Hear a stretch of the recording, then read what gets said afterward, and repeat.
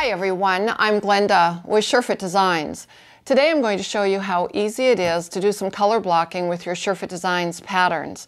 And you know, when I think of color blocking, it takes me back to the 1960s when Yves Saint Laurent popularized the Mondrian dresses.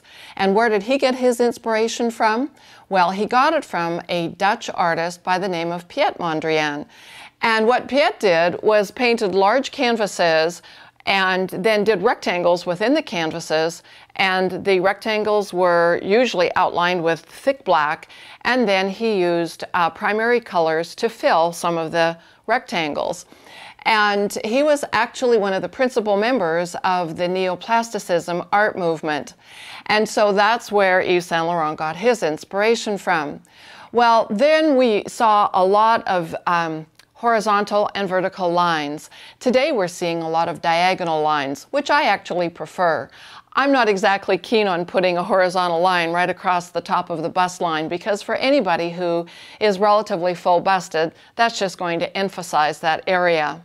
So how are you going to decide where you're going to put your design lines? Well, I would invite you to go to either of our websites, surefitdesigns.com or the SureFit Designs Learning Center. And if you go to free stuff, there you're going to find a perfectly proportioned uh, croquis. And I call her Sally Silhouette. And if you haven't already got it, just hop on over and, and, get them because they are available there for you. They're free and they're in a PDF format.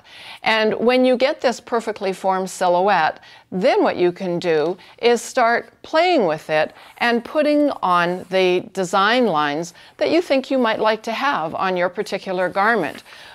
I've done a couple of different tops here and I have used some vertical and horizontal lines in one of them, but I do tend to really like the diagonal lines.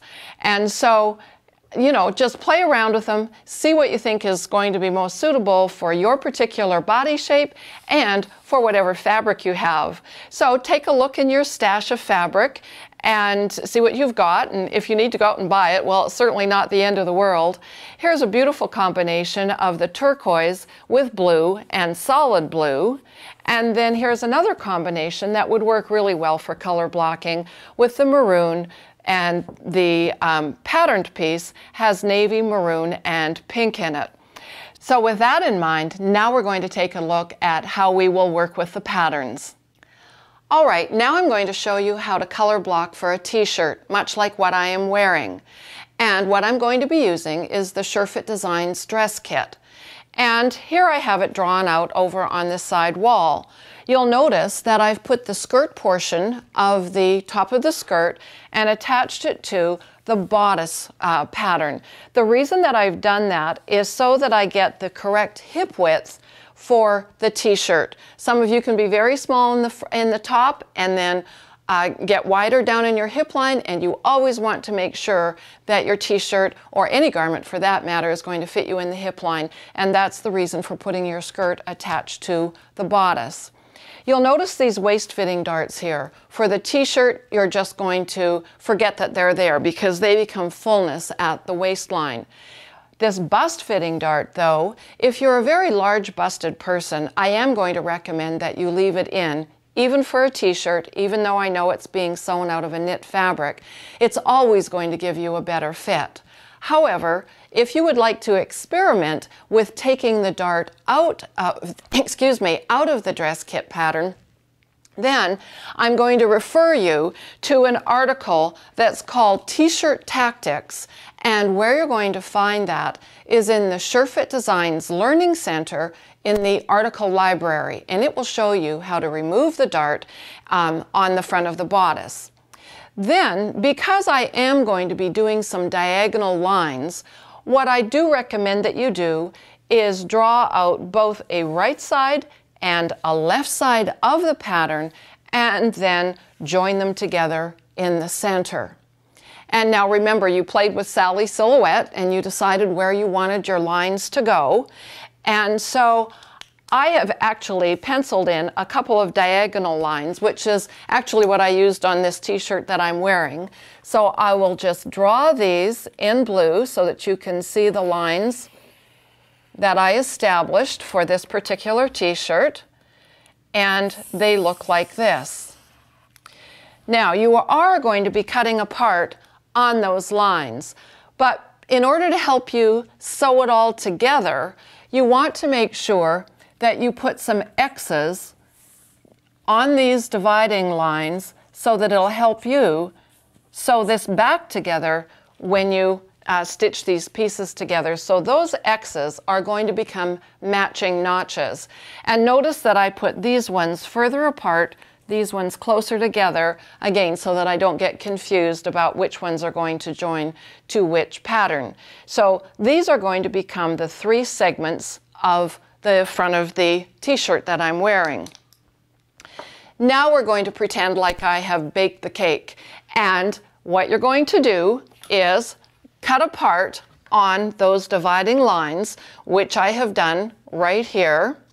And there is one other thing that I should mention to you. When I'm doing the designing, I generally always design on a pattern without seam allowances.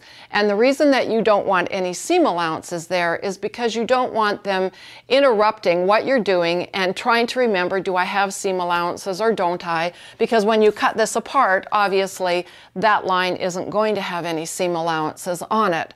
So if you design without seam allowances, then once you've cut it apart, then what you need to do is add seam allowances.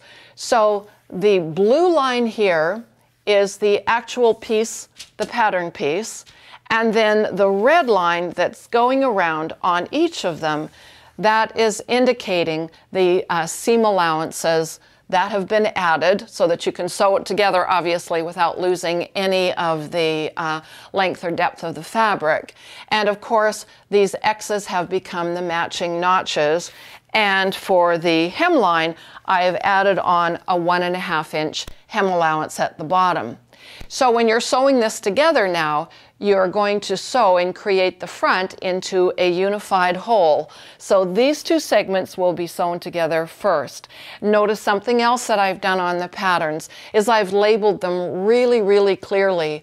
I've said this is piece number one, and I'm going to cut one right side up Piece number two, again, cut one right side up, and piece number three, cut one right side up. The more indications you can give yourself on your pattern piece um, to help you sew it together, the easier it's all going to go together, and then you won't get confused of what, what pieces go together. The other thing that I did on these patterns is that I made sure that I transferred over the grain line. And yes, center front um, is obviously a good reference point and I, there is a grain line there, but I also added one more grain line over on this side, and I'll just draw it in blue here. Um, let me put the ruler this way so that I line it up exactly on the line that I used. There we go. And I should have drawn this in right at the beginning, but you'll get the idea. And the reason that I did that is so that I could continue this particular grain line up into this larger segment of the pattern.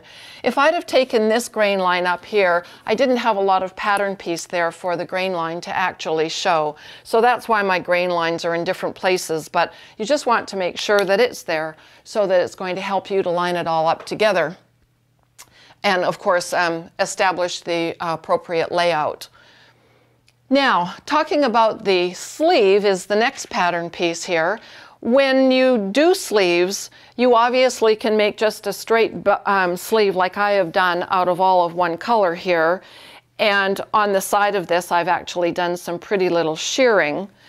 Um, but if you want to do a color blocked sleeve as well, you certainly can, which is what I've done on this particular t-shirt. So as we look over here at the sleeve pattern, um, I'm just going to unpin here and talk about this. This is your entire sleeve pattern. And then I just decided where I wanted the uh, design line to go.